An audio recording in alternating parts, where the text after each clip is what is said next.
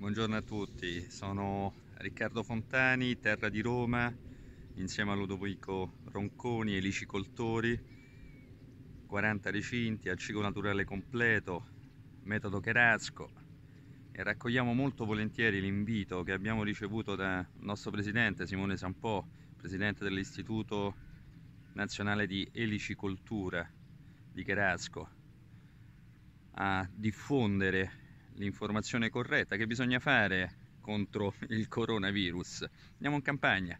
Ragazzi, elicicoltori, colleghi, approfittiamo di questo momento difficile, duro per tutti quanti, non solo per l'Italia purtroppo, per eh, fare manutenzione, come stiamo facendo noi, per seminare, per eh, coccolare le nostre chiocciole, che amiamo tanto.